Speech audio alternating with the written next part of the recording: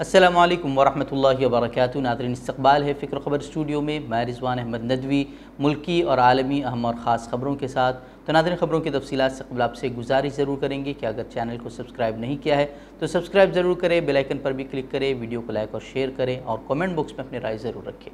तो नादरीन बढ़ते ख़बरों की तफसीलात की तरफ़।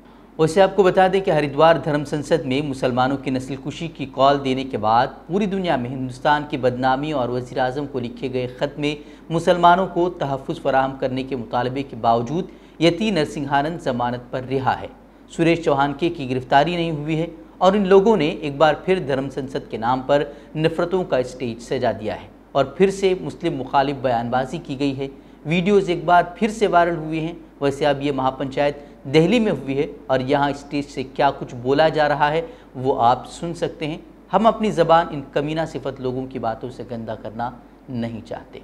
केवल 2029 में भारत का प्रधानमंत्री मुसलमान होगा। सरकार ने कोई बहुत बड़ी बाजीगरी दिखा दी तो चौतीस में हो जाएगा।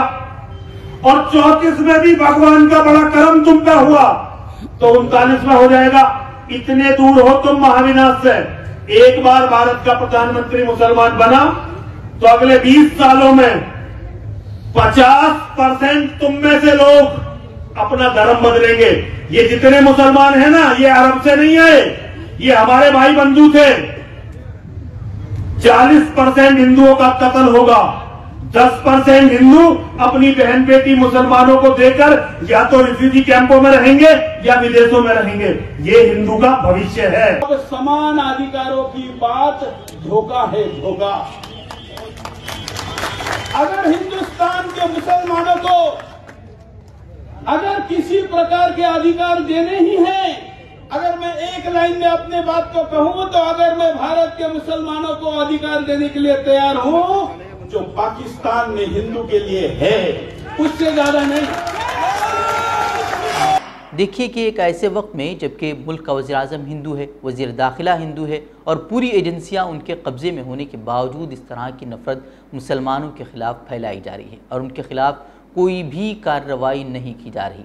सवाल यह है कि इस तरह के प्रोग्राम के मुंतजमीन के ख़िलाफ़ कार्रवाई क्यों नहीं होती? दिल्ली पुलिस जो वजी दाखिला अमित शाह के अंडर काम करती है वो इस पर कोई जवाब क्यों नहीं दे रही ऐसा लगता है कि ये तमाम चीज़ें वो अपने आकाओं के इशारे पर ही कर रहे हैं और अब चूँकि पूरे सोशल मीडिया पर ये बयान वायरल हो रहे हैं तो यती नरसिंहानंद के खिलाफ केस दर्ज कर लिया गया है जबकि उसके नफरत फैलाने वाले दूसरे साथियों को खुली छूट है कि वो अब भी एक और धर्म संसद का इनका कर सकते हैं पता नहीं कि इस तरह के बयान देने वालों पर कोई कार्रवाई होगी या नहीं, क्योंकि दिल्ली हाईकोर्ट के एक जज ने हाल ही में तो कह दिया था कि नफरत अंगेज़ तकारीर जो है वो मुस्कुराहट के साथ अगर कोई बात कही जाए तो कोई जुर्म नहीं है।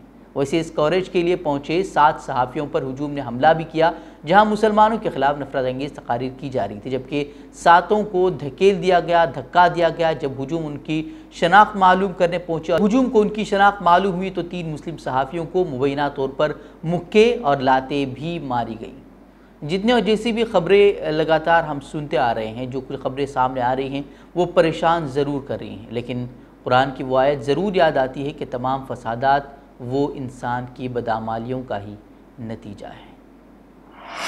ज़रा कर राजस्थान के करौली में हंगामे की जो खबरें मीडिया में पेश की गई हैं उसकी एक झलक देख लेते हैं फिर आगे बढ़ेंगे। नवरात्रि और हिंदू नव संवत के मौके पर कल हिंदू संगठनों के कार्यकर्ताओं ने एक जुलूस निकाला था। उसी दौरान मस्जिद से उन पर ज़बरदस्त पत्थरबाजी की गई। मंदिर दुकानों और मकानों में तोड़फोड़ आगजनी हुई। हमले में बाइक रैली पर पथराव के बाद ज़बरदस्त हिंसा फैल गई। पथराव में बयालीस से ज़्यादा लोग घायल हुए। कई दुकानों को आग के हवाले कर दिया गया। तनाव को देखते हुए पूरे करौली शहर में धारा एक और कर्फ्यू लगा दिया गया। वैसे भैंस के आगे बीन बजाना ये मुहावरा आपने सुना होगा, लेकिन मौजूदा हालात देखते हुए यही एक मुहावरा है जो कहा जा सकता है।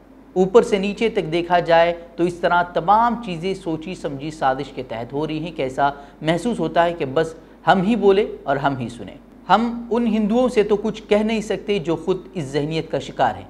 और उन हिंदुओं से कहने से क्या फ़ायदा जो कर ही इसलिए रहे हैं कि टकराव हो जाए।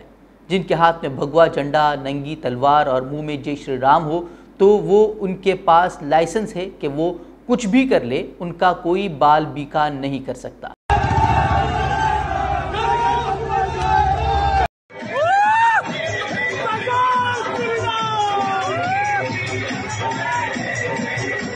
ये जो तस्वीरें आप देख रहे हैं, वो कल की हैं। देखिए कि किस तरह से मस्जिद के बाहर खड़े होकर संगीत जुनूनी फसाद बर्पा करने की कोशिश कर रहे हैं।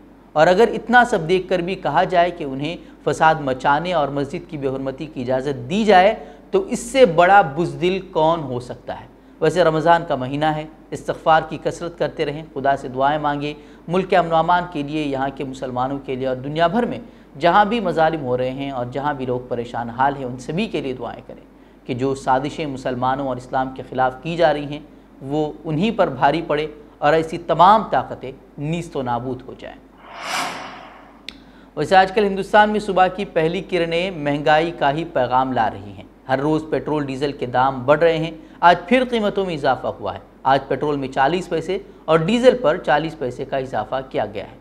वहीं कर्नाटक के सबक उजाला और जनता दल एस के leader H D Kumaraswamy ने पेट्रोल और डीजल की कीमतों पर खामोश रहने पर भारतीय जनता पार्टी, रियासती हुकूमत और वजी अला बसवराज बोम्मई के खिलाफ शदीद नाराज़गी का इजहार किया। उन्होंने कहा कि सड़क पर खाली सिलेंडर ले जाने वाली बीजेपी ने हथियार क्यों डाल दिए हैं? महँगाई की वजह से गरीब का पेट जल जाए तो क्या आप खुश हैं? उन्होंने सड़कों पर आकर एहतजाज करने और मरकजी हुकूमत के खिलाफ नारेबाजी करने की उन्होंने लोगों से अपील की। लेकिन सवाल यही है कि आखिर बीजेपी की तरह वो पावरफुल अपोजिशन है कहाँ? तमाम लोग तो सिर्फ़ ट्विटर पर ही अपनी भड़ास निकाल रहे हैं और हुकूमत तानाशाहू की तरह हर चीज़ की कीमतें बढ़ाती जा रही है। वैसे पाकिस्तान की ताज़ा सूरत हाल हम देख ही रहे हैं। अब उसे इमरान खान का यॉर्कर कह ले या फिर इमरान खान का राह फरार के उन्होंने तहरीक अतमाद होने नहीं दी और दोबारा इलेक्शन का ऐलान कर दिया। पाकिस्तान में जारी इस सियासी बहरान के पेश नज़र, पाकिस्तान के सदर आरिफ अलवी ने कहा है कि इमरान खान पाकिस्तान के आइन के आर्टिकल दो सौ चौबीस ए के तहत निगरान वजी अजम की तकर्री तक वजी अजम के अहदे पर बरकरार रहेंगे। वैसे अभी पूरा मामला अदालत में जेर गौर है और सुप्रीम कोर्ट के फैसले के बाद ही सही सूरत हाल सामने आ सकती है। सुप्रीम कोर्ट ने इस मामले को के हल के लिए एक लार्जर बेंच को तश्कील दिया है। पाकिस्तान की कौमी असम्बली में वजी इमरान खान के खिलाफ अदम अतमाद के वोट की बर्खास्तगी और उसके नतीजे में ऐवान की तहलील के बाद सुप्रीम कोर्ट ने तमाम रियासती इदारों को किसी भी गैर आइनी कदम उठाने से रोक दिया है। वैसे पाकिस्तान के वजी अजम ने अमरीका पर जो इल्ज़ाम लगाया है और अब पाकिस्तान की जो सूरत हाल बनी हुई है, उसके नतज क्या होंगे, ये एक बहुत बड़ा सवाल है। पाकिस्तान में सियासी लड़ाई एक ऐसे वक्त में हो रही है जब पाकिस्तान को बढ़ती हुई महँगाई गिरते हुए गैर मुल्की ज़खायर और बढ़ते हुए खसारे का सामना है।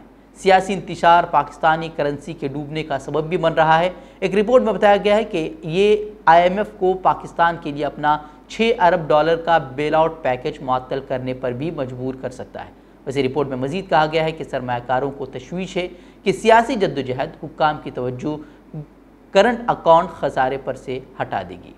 तो मुंबई में महाराष्ट्र नवनिर्माण सेना सरबरा राज ठाकरे की मस्जिदों के लाउड स्पीकर को लेकर इश्ताल अंगेजी पर रुकन असम्बली व समाजवादी पार्टी के रहनुमा अबू आसिम आजमी ने कहा है कि राज ठाकरे ने तो पहले अपने झंडे में हरा सब्ज रंग रखा था, फिर उसके बाद झंडे को तब्दील किया। गैर मराठियों, शिमाली भारतीयों के खिलाफ इश्ताल अंगेजी और तशद बर्पा किया।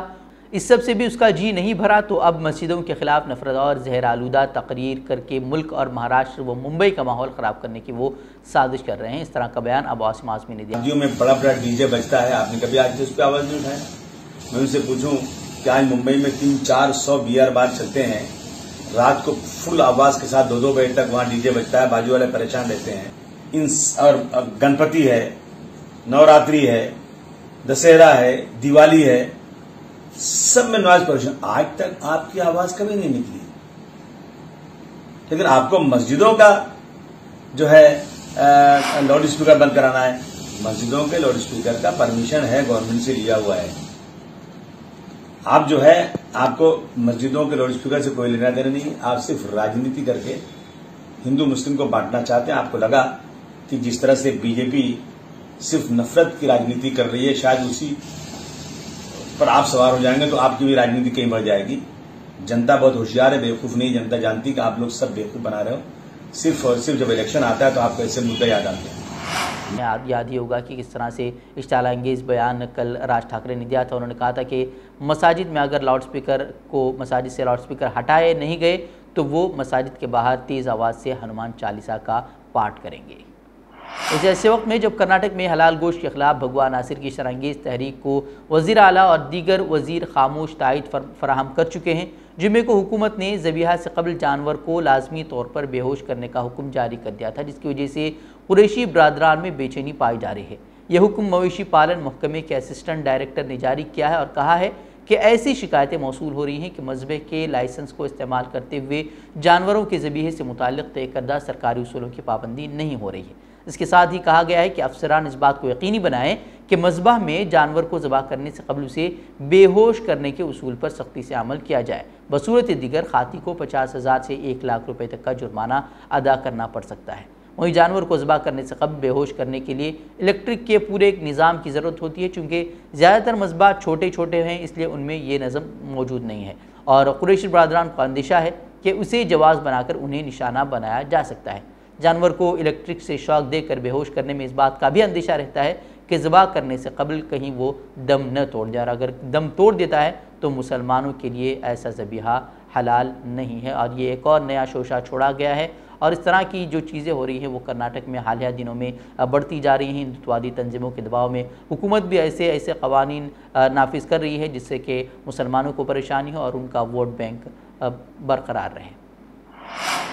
वैसे तालिबान के सुप्रीम लीडर हैबतुल्ला अखमदजादा ने अफ़गानिस्तान में पोस्ट की काश पर पाबंदी का हुक्म जारी करते हुए खबरदार किया है कि हुकूमत फ़सल की काश करने वाले किसानों के खिलाफ क्रैकडाउन करेगी और उनके खिलाफ कार्रवाई करेगी और उन्हें शरिया कवान के तहत उन पर उनको सजा देगी। अफ़गानिस्तान पोस्ट पैदा करने वाला दुनिया का सबसे बड़ा मुल्क है। पोस्ट का इस्तेमाल वो हीरोइन, यानी कि मनुष्यात की एक चीज़ है, उसको बेहतर बनाने के लिए उसका इस्तेमाल किया जाता है और हालिया बरसों में उसकी पैदावार और बरामदात में इजाफा हुआ है। वहीं यूक्रेन के दारकूमत कीव के करीबी कस्बे बोचा में इज्तमी कब्र से चार सौ दस लाशें बरामद होने का दावा किया जा रहा है। यूक्रेन के कस्बे बोचा में एक इज्तमी कब्र से चार सौ दस अफराद की लाशें बरामद हुई हैं। बोचा रूसी फ़ौज के जेर कब्ज़ा था, जिसका कंट्रोल हाल ही में यूक्रेनी फ़ौज ने दोबारा हासिल किया है।